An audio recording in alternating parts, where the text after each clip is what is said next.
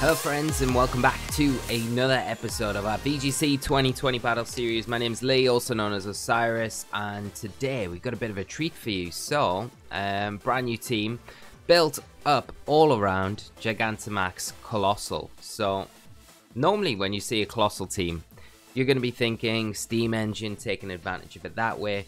This team is a bit different. We've went weakness policy and we went hard trick room. It's base 30, so it's something that can perform very well under trick room. Um, I've done a few matches with the team so far. It's been going really well, so hopefully, fingers crossed, touch wood, that continues in this episode. Um, but just to recap the team, we've got the Coalossal there. Uh, Bronzong's going to be our Trick Room setter. We've got Grimmsnarl there just to help support with fake out support. It's got Sucker Punch to deal and help with things like Chandelure, Dragapult, other things that will cause Bronzong a few issues. We've got the eject button trick strategy there just to give us a little bit of an edge and some more gimmicky things to go along with the team to help us against opposing Dynamax Pokemon. Uh, Gastrodon is self-explanatory. It gives us a ground type attacker as well as the Storm Drain to help support the Coalossal. Uh, the Togekiss with the Wacan Berry. I'm trying out a different set. I've been playing super standard Togekiss, Follow Me support, but we've put Nasty Plot on there. We've got Follow Me, Dazzle Gleam, and then air slash. It's another option as well. With all the Rotoms going about Wacan Berry feels like it's probably not a bad option at the moment. And then Conkeldurr Assault Vest to round off the team. As always what we'll do at the uh, I will play a couple of games today and then at the end of the week we'll have another episode and I'll post the the rental team I'll create a rental team for this one uh, we may make changes along the way but uh, we'll end up with the best version of what I feel the team is uh, is is kind of capable of. So, hope you enjoyed today's episode. As always, if you do enjoy these episodes, do remember to leave a like on the video. It does really help the channel out. Do subscribe to the channel as well uh, for more battle videos, Pokemon content in general, and uh, good old time. That's it. So we've got our first opponent, 306 from Japan. Let's have a look what they're rocking. So got a team of Dragapult, Incineroar, Excadrill, Passimian, Rotom, Wash, and Dusclops. So, hmm. It's not really a heavy Trick Room team. You know, the disc, the Dusclops is going to be there for a kind of anti-Trick Room measure more than anything. Um, I think the thing that we need to worry about probably more than... Well, the two things I guess I really do worry about is going to be the Rotom Wash uh, and the Excadrill. Both things I probably expect to uh, Dynamax in this match. Um, but to be fair, I think if we get our Trick Room up, we should be alright. So it's just a question of who we want to support our Bronzong with to begin with. And I think, like Grimmsnarl's not a bad option uh, to support Bronzong with. We'll go Coalossal. And I think because of the Rotom, I'm probably going to need the Gastrodon in the back. Um, so let's go with that.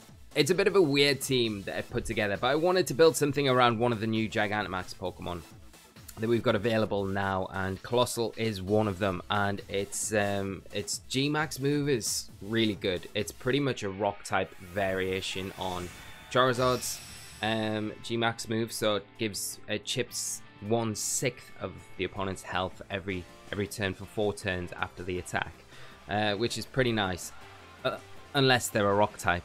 Uh, when, and that means they don't take any damage. It's a bit like the Charizard. If they're fire type, then they don't take any damage. So um, it'd be interesting to see if this Excadrill is Mold Breaker. That gives uh, Bronzong a few issues. It is Mold Breaker. Hmm. Okay. Hmm. Okay, well, it makes getting our Trick Room up a lot more difficult here. Um, because it can't really you can't really just uh, fake it out either because I expect it to, to, to, go max. I think what we'll do is trick onto it. We got anything we can bring in the back. Maybe a bit of fodder. We can bring in Gastrodon here. Now what I need to try and do is uh, maneuver around the situation. Um, remember this is a high, higher ranked player anyway, so they sh should know what they're doing. Um, they're probably wanting to go and chase down the Bronzong here. Ideally, what we want to do is switch in the Bronzong, so we're kind of just absorbing a bit of this damage. We can trick the eject button onto the Excadrill, and then the next turn we can Sucker Punch it, get rid of it before it can do anything, and then Bronzong hopefully isn't in the worst of places because you've got to think like the Dragapult next to the Excadrill as well, pressuring our Bronzong. So we've not got too many to. Uh, sorry, we don't even need to worry because our Bronzong's not even in the picture. What am I talking about? There's the trick. Okay, we get it onto the Excadrill. That's a big thing. Hopefully, we don't see. Oh well, even if we do get attacked, it's fine. So we'll just see a couple of Dragon Darts. Gastrodon will take this. Focus Sash is really handy because even if they Steel Spike into Grimmsnarl, then that's fine. Um, but they are into the Gastro. That's that's super super good for us. Okay, because now, like I say, we can Sucker Punch the Excadrill and we can Trick Room with Bronzong. So we do lose Gastrodon, which isn't ideal. It makes our it definitely makes our um, Rotom Wash matchup a lot harder, but Should still be alright. Should still be alright. I'm hoping. I'm hoping. Okay. Right. Um, they're going to expect the Sucker Punch, aren't they? They're going to max guard. Uh, but it doesn't matter. Really doesn't matter at this point. Um, so we'll get our Trick Room up. And, you know, Dragapult, we got the Concede Berry. It's not going to be able to knock out our Bronzong. So we're fine here. Whether or not my opponent maybe switches the Dragapult, readjusts their board position. Um, I don't know. But really what we want to be doing is getting Coalossal onto the field as soon as possible. And it's not going to be the easiest thing in the world. Oh, they're just getting rid of it. we forced it.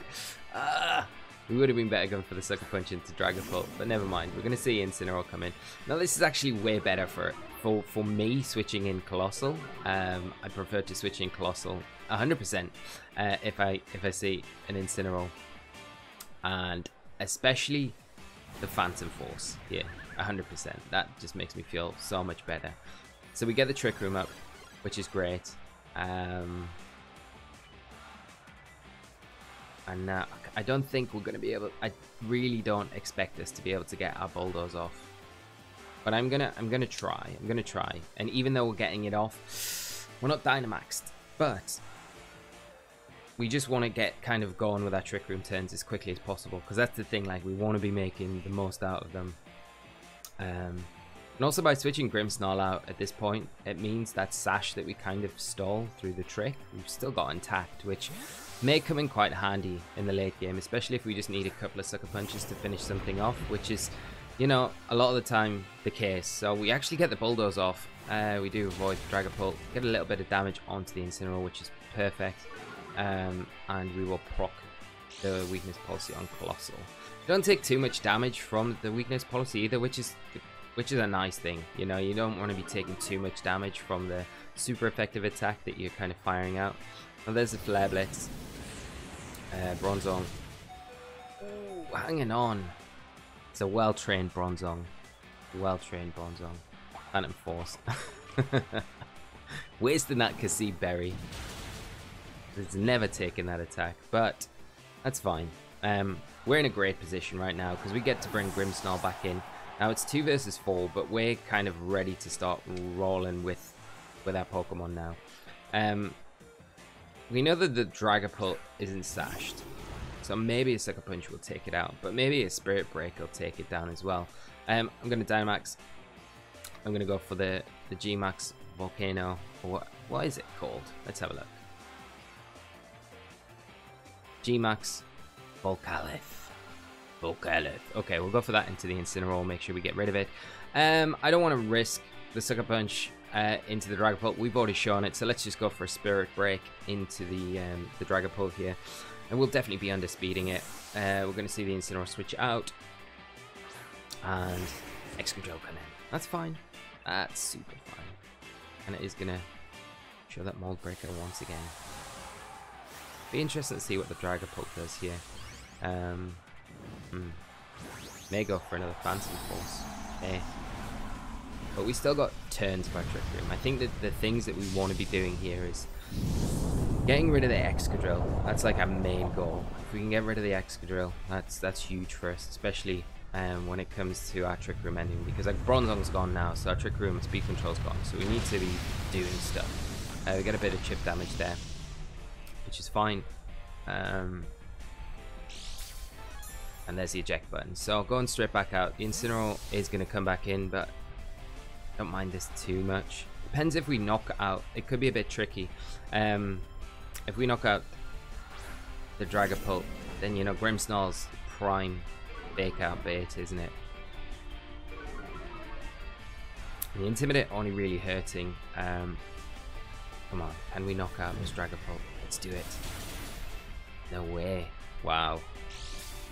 It's weakness policy. That's not what we want to see. Hmm. Oh, it's going for the Phantom Force as well. Uh, that's not ideal. That is really not ideal. Um. Hmm. I don't know what we can do now. Um. Okay. How many turns of the, the Trick Room have we got left? Two. Okay. Okay. Right. Well, I think we still might be alright. Maybe. I don't know. We're to have to go after the Incineroar here.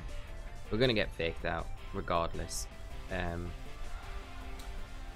I can't suck a punch because the Dragapult's disappeared, so I'm just to have to Spirit Break it again.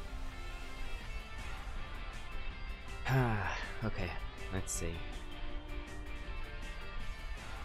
There's the out, breaking the sash.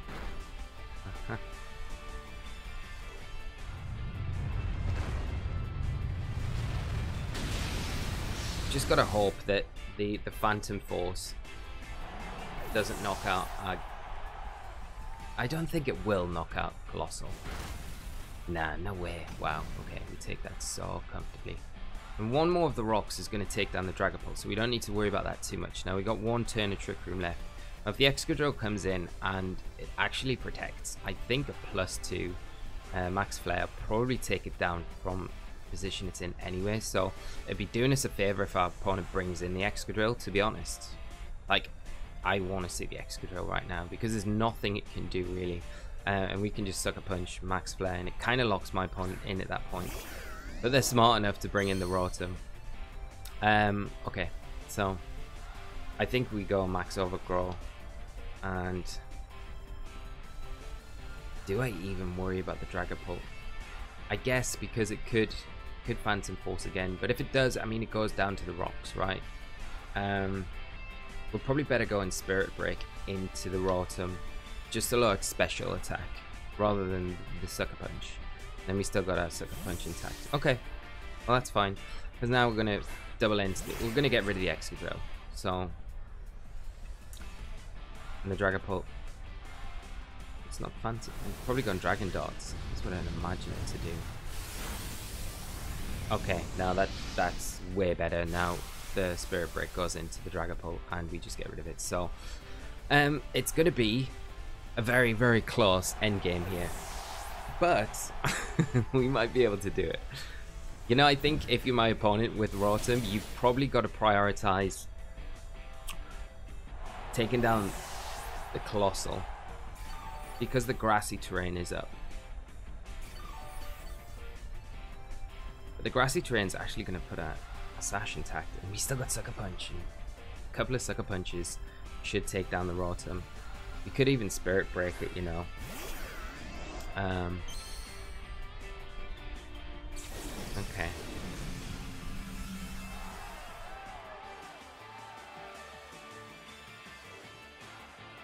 we can't Solar Beam because...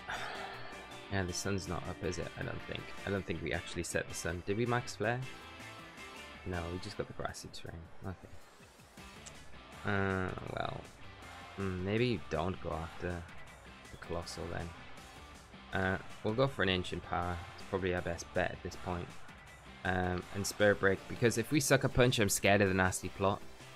And we don't want to be kind of falling into that trap. Okay, it's just going straight for the Hydro Pump here. That's going to take us down for four times a week. There's no way we take that. But the Spirit Break's kind of handy. Um, just for the fact that we are lowering their special attack by one. They do reveal the Life Orb as well, so we don't need to worry about potential citrus Berry or anything like that. Well, that's doing nothing. Okay. But the rocks coming in super handy once again. This is this is why it's so good, you know? The rocks are just amazing. Um, I think the rocks, that was probably the last turn of the rocks. Uh, okay. Do we suck a punch of Spirit Break? Uh.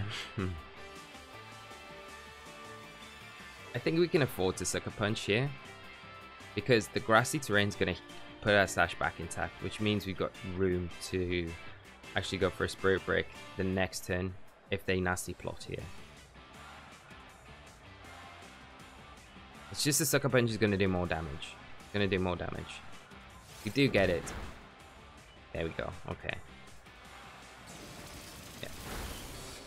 Wow. Okay. I mean, yeah, that's fine. We we can afford just a spirit break from now because there's no way I, I don't think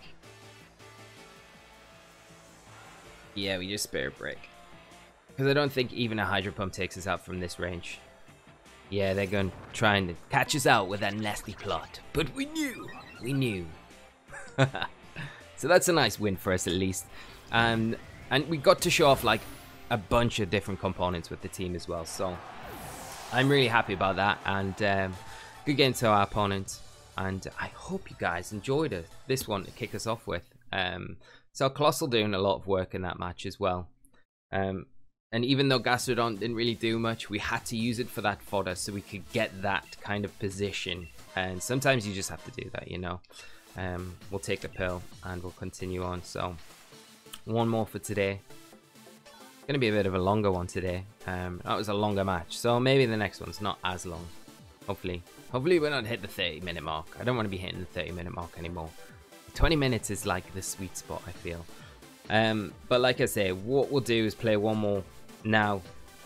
And then we'll come back later in the week. I'll play a couple more. And um, then I'll, I'll make sure that the rental team is there. The reason why I'm not doing the rental team today is because if I make changes between now and then, if I play more matches, which I'll be streaming this team between the two episodes, if I make changes, I'd rather give you guys the better version of the team rather than give you two versions of the team. Uh, I think it's more beneficial that way. So, got our next opponent, Emily, and they are playing a team of Rotom Heat, uh, Tyranitar, Venusaur, Hitmontop, and Corviknight, and the Gastrodon. So the Gastrodon is a little bit of a worry for us because it does threaten our Coalossal, kind of on both spectrums from the, the its water type attacks and its ground type attacks.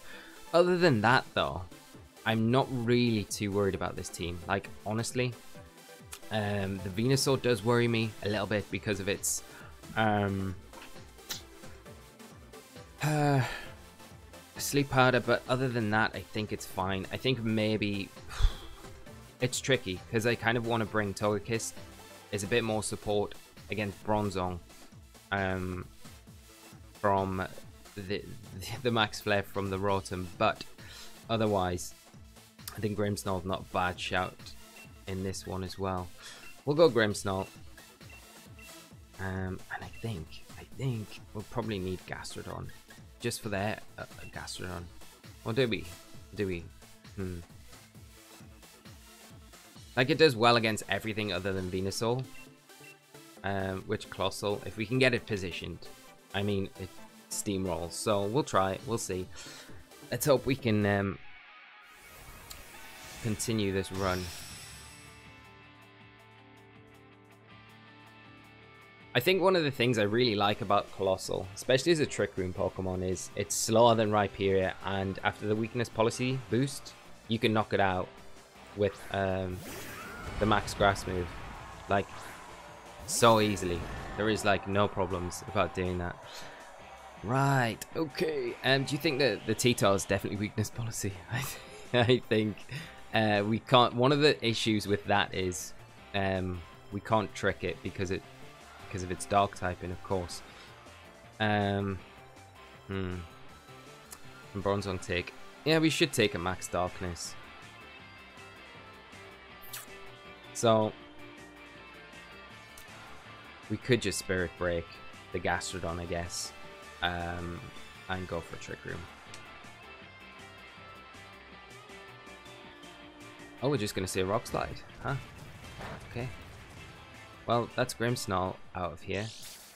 Not so good for us, really, because um, we don't really want to be switching Coalossal in right now. Um, could take a water type attack, and it definitely could take um, a ground type attack. Neither of which it wants to be taken, especially when it's not Dynamaxed. Okay, so the skull coming out. Alright. Hopefully we get a trick room up and we don't flinch. Come on! we did we did that. We did that to ourselves, didn't we? Um okay. Should we start chasing down the Gastrodon? I don't really want to I don't want to proc the weakness policy on the T-Tar. Although we are going to be slower than the T-Tar, so we could potentially go for that. Um, and then go for the Trick Room. Because then we'll get, if we get the Trick Room up, we'll get two turns against the T-Tar. And we got stuff on the Bronze Bronzong that we could potentially do. okay. Lynch didn't help me. I had a match earlier where a grim Grimmsnarl Thunderwaved. My uh, my Bronzong has paralyzed three turns in a row. Every time trying to get the Trick Room up. Three turns! I was like, Ugh. My switch was nearly out the window, I swear. Okay. It happens though, doesn't it? It happens sometimes. No chance of a flinch here. Just let's hope Max Darkness doesn't knock us out. Uh, okay. Okay. Well.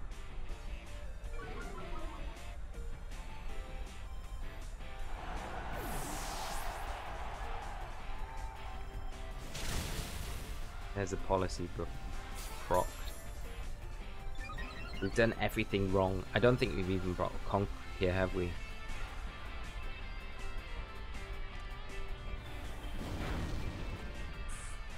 Max darkness. Uh, yeah, we haven't. Um, we don't even have a weakness policy now. This is where a great example of the team going badly wrong. Hmm. Actually, is it though? Is it? Is it that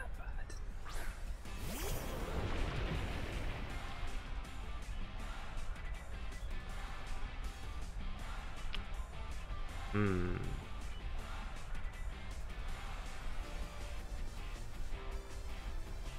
Because I think I think you have to like you probably go after the Gastrodon here, I'd imagine. Do we max Overgrow or do we just go for the Gastrodon? Poison Gastrodon. I really don't mind about the Poison Gastrodon. I want to get the T-Tar. Uh, let's go max Overgrow. Let's hope that our weakness policy gets procced in, in the run into this max Overgrow. I'm kind of hoping that the T-Tar goes max Darkness into the Gastrodon. And then the opposing Gastrodon goes for the Earth Power into us.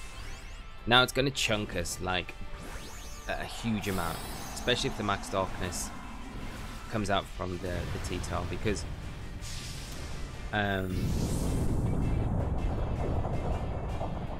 get the special defense drop.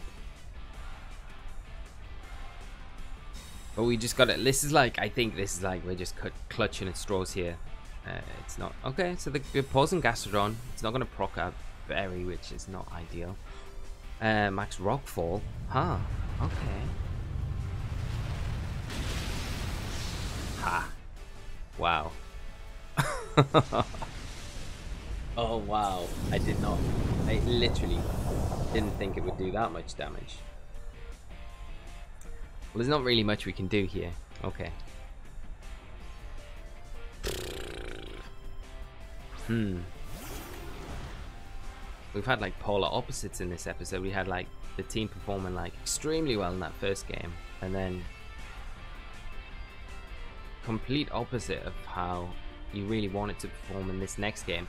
Uh, I think it gives you food for thought. Um, like I built this team today, and I'm still learning how it's functioning, and it's a massive error not bringing Conkeldurr to this to this game. Uh, if we brought Conk, it makes things so much easier. Um, I think our opposing Gastrodon matchup isn't amazing either, so I think that's kind of telling as well. You can see we're kind of struggling against it. So these are good things though like and these are always things i'll pass on over to newer players as well. You know if you lose like it's not the end of the world especially if you're just practicing. Like this isn't a tournament or anything. This is like team testing. So this is like great information for improving the team in general. Um, and whether that be how we've actually just approached the match or whether it's actually a problem with uh, the pokemon themselves and whether or not we need to like tech something into you know, support against, say, Gastrodon or something like that. But I think it's a combination here. I think it's how we've actually led into this game, what we've brought to this game, and maybe um, a few little areas that we probably have left a little bit vacant that we need to cover going forward. But like I say, this is the beauty about testing a team and putting together and trying to get a finished article because these matches obviously are the are the gold in the haystack that you're kind of looking for. Um, but very good game to our opponent, Emily, there. I wonder if I know who it is. Maybe, maybe, maybe. But um, that wraps it up for today. So, like I say, we've got two polar opposite games. Uh, really happy. Regardless, I think today's episode is really good, really beneficial on both fronts. We got that great first game uh, where we saw the team doing its thing, doing what it wants to do. And then we got the, the second game where we're playing against a very good opponent. And uh, they've led excellently. Obviously, seen some exploits in our team and exploited those areas where the team's kind of lacking a little bit. But all in all, very good. And we didn't go over that 30 minute mark. So what more can we ask for? Like always though, my friends, I mentioned it earlier, do drop a like on the video if you've enjoyed it. Do subscribe to the channel. Let me know your thoughts on how you think the, the team did today, on your thoughts on the team in general, uh, GMAX Coalossal, and uh, I'll look forward to seeing them all. And we'll see you later in the week. I will be streaming Thursday evening with this team. Uh, there may be changes between now and then, but uh, do stay tuned for that. And um, we'll have the rental code up later in the week as well with our next episode. So until then, my friends, take care of yourselves and bye bye.